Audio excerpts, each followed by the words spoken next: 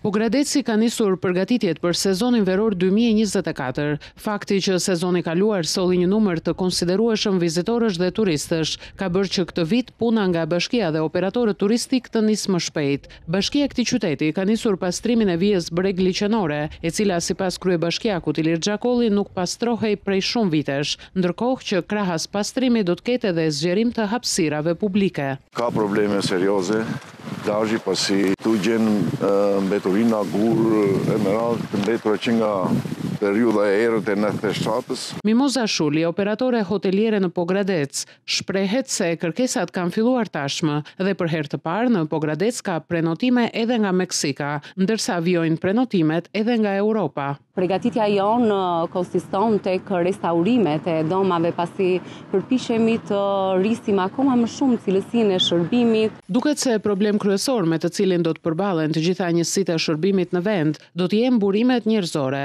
edhe pse siç thonë operatorët për kërkesat e punës tashmë vendos punëmarrësi dhe jo punëdhënësi. Nuk flitet sot për punonjës të kualifikuar.